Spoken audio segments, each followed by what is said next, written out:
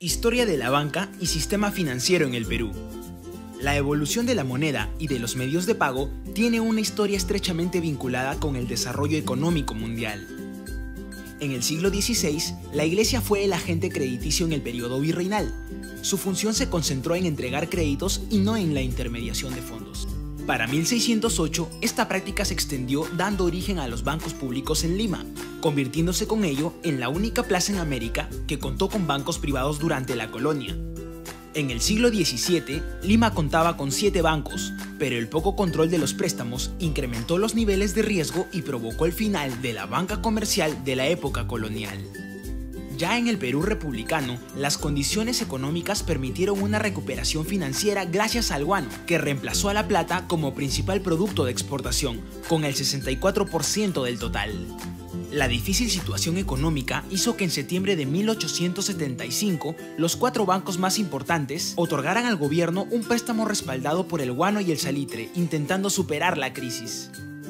En abril de 1879 llegó la Guerra del Pacífico, 1879-1883. Seis instituciones financieras sobrevivieron. Estos dos últimos pasarían a control chileno.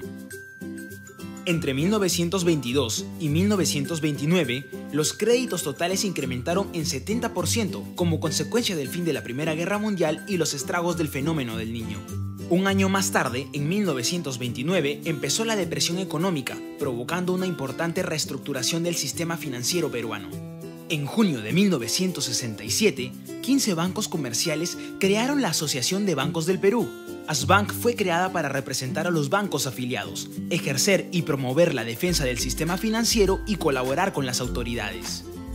En 1990, el Perú cayó en una de sus peores crisis económicas. La banca privada asumió el reto de manejar profesionalmente la gestión del riesgo.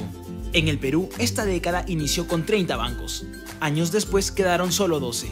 La lección aprendida de la crisis de los 90 llevó a los bancos a mejorar sus medidas para prevenir los riesgos, ser más solventes y ofrecer mejores servicios y productos a sus clientes.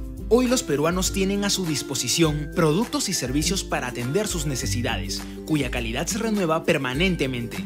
Así, de la mano de la tecnología, las entidades financieras van donde el cliente está.